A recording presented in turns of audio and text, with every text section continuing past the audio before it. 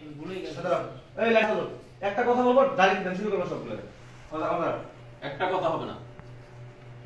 দাঁড়া দাঁড়া চাপো চাপারো চাপো হ্যাঁ।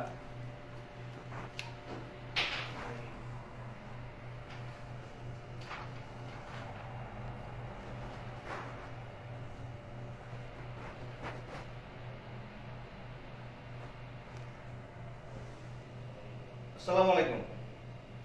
আপনারা এই চারজন লোক, আপনারা আসছেন সায়ন শরীরপুর ট্রাভেলসের মাধ্যমে। আপনাদেরকে মাকসালা কাজের জন্য আপনাদেরকে বলা হয়েছে, আপনারা মাকসালা কাজে যাবেন না। স্যালারি চোদ্দশো টাকা, বেতন ছিল ডিউটি ছিল বারো ঘণ্টা।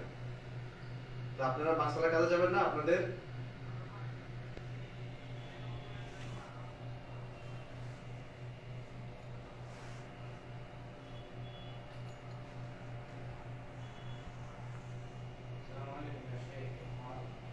আসসালামু আলাইকুম।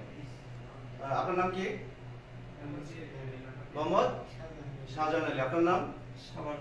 শাবানুর রহমান। আপনার নাম? সাহেব আলী। আপনার নাম? মশিউর রহমান।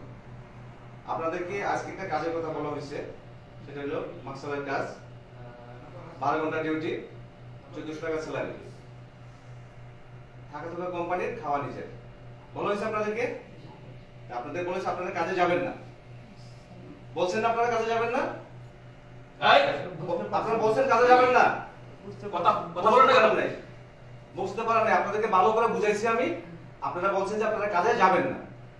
আপনারা বাড়িতে বসবেন দালালের সাথে বসবেন কি বলবেন সব বাড়িতে ফোন টোন করে আমার দুই দিন পরে জানাব বা একদিন পরে জানাব এই ধরনের কথা বলছেন আপনারা আমাকে। যে আমরা পরে জানাব।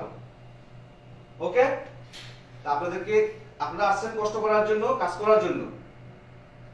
আর আপনারা যদি মনে করেন যে না, আমরা সেরাটন হোটেল বা পাঁচতলা হোটেলে আমি কাজ করব সেটি বলে তো আর হবে না।